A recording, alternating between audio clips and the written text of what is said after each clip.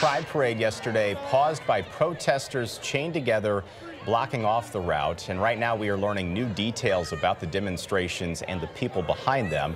Police say they took 19 people into custody after warning them several times to move.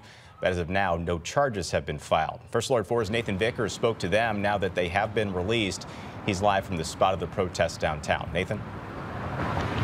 That's right. By now, all the protesters have been released from the City Justice Center. I want to set the scene from you a little bit uh, as to what it was like yesterday, though. There were thousands of people lined up here on the sidewalk watching as those protesters were blocking off this intersection here and keeping the parade from moving forward. We talked to a lot of people who were watching yesterday, and they and the parade organizers told us they just didn't feel like that was the right way to spread their message.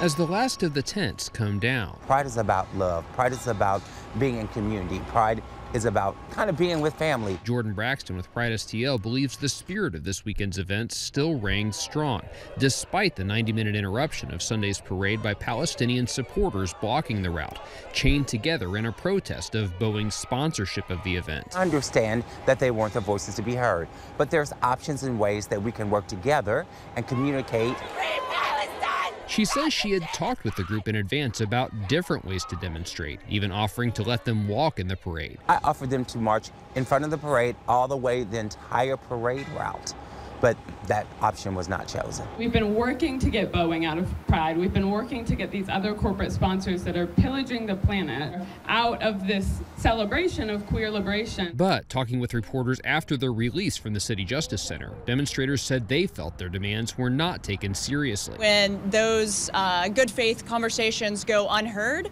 um, and when they continue to side with corporations over the people of St. Louis, um, we feel the need to show up and take direct action. Police say of the 19 they took into custody, 15 of them were from the St. Louis area. The others came from Columbia, Missouri, Springfield, Illinois, and Indiana.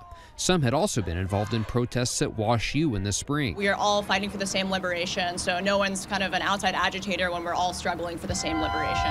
Braxton says Boeing's employees in the parade represented the company's LGBTQ resource team. We're not going to ask people in our own community not to be in the parade. In the end, she says it was important to move forward. This little disturbance, it, it didn't take away from the beauty um, of celebrating who we are and diversity and, and wonderfulness of our St. Louis LGBTQI community.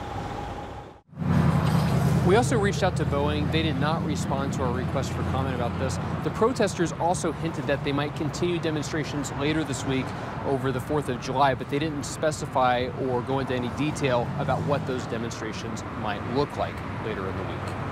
Reporting live, Nathan Vickers, First Alert 4. Nathan, thank you. Well,